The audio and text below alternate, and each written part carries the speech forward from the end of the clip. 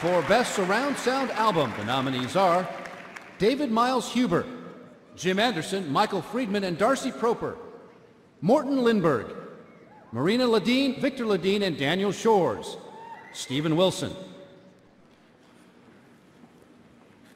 I'll get this one right.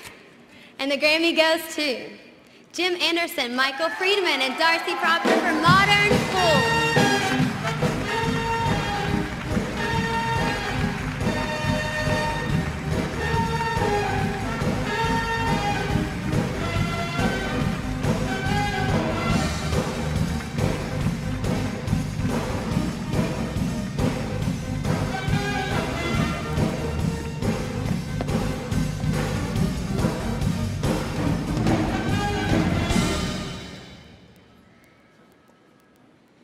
Thank you very much. Um, I think Jim Anderson is going to do most of this talking for uh, us. But for me, I'd like to say I'm very honored to be up here, and I'd like to thank my family, my brother and sister, my dad, who's with me in spirit, I'm sure, and my mom, especially my mom, for their support of me uh, personally and in all my endeavors, including my record label. And I'd like to thank my girlfriend, Allison. Allison, I love you very much. You know, I- I'm old enough, you might not believe this, I'm old enough to actually remember the transition from mono to stereo. But now to be able to see the transition from stereo to surround, you really owe it to yourself to actually give a chance to listen to this music in surround. It's a completely different experience.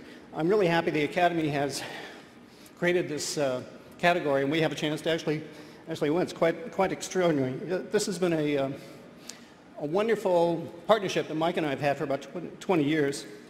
And we're really happy to uh, include Darcy Proper and uh, Bock uh, in this process. Um, and I'd like to thank the guys from CRC on the original recording, Chicago Recording Company.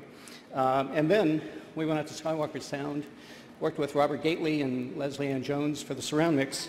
And uh, I'd like to thank my arm, Candy Ulrike, for getting all dolled up and coming up and making the weekend complete. And, and also my students at the Clive Davis Institute of Recorded Music. I'll see you Wednesday in ear training, okay? And I'd like to see you up here too. Thanks.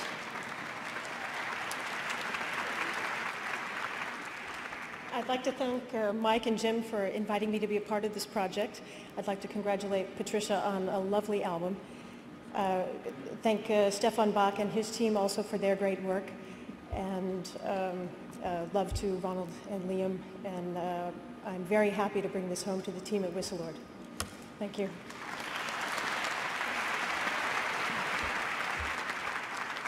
I'm hoping you're ready to get your groove on for a little old school R&B, because I know I am, because that's my thing, man. She grew up in the studio with her songwriting parents, wrote her first song at 15, and now has a Grammy